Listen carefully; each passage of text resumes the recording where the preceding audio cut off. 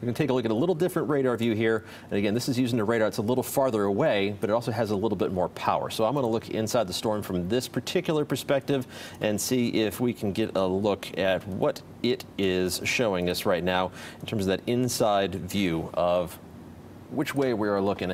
That's where that rotation is right there from this radar site that's farther away. So we're looking farther up in the cloud, but right there near Selma, that's the signature that we don't want to see. Again, this is the more accurate view in terms of where the storm is right now. But again, moving directly towards Selma, that's the most dangerous part of the storm with that rotation. This storm has also been producing some very large hail as it's moving through Johnston County. Had some golf ball sized hail reported around Garner near the Cleveland community. That part of the storm that you're seeing highlighted in blue and purple is the portion of the storm that would be producing that quarter sized, potentially golf ball sized hail that is to the north of that area of rotation. That also lines up and confirms what we're looking at in terms of the specific part of the thunderstorm that is of the greatest concern with that uh, potential rotation, maybe resulting in a tornado touchdown.